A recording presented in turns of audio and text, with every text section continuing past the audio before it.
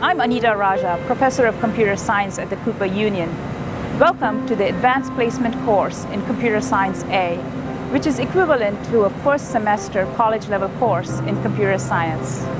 From healthcare to finance, telecommunications to commerce, government to entertainment, arts and architecture, computational systems are shaping the world around us. We want you to be on the forefront of the next wave of computational change. This rigorous and highly engaging course will introduce you to the fundamental concepts of computer science.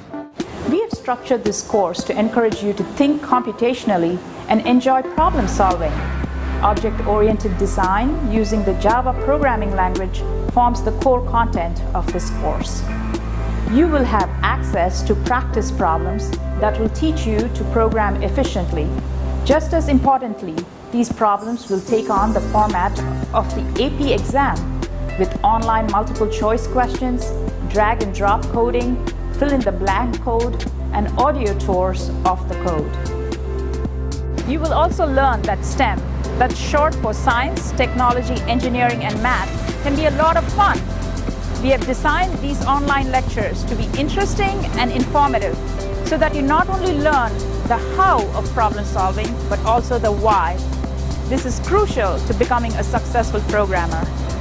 We will showcase exciting careers in computing and explore New York City's sights through the lens of a computer scientist. I hope you will join us.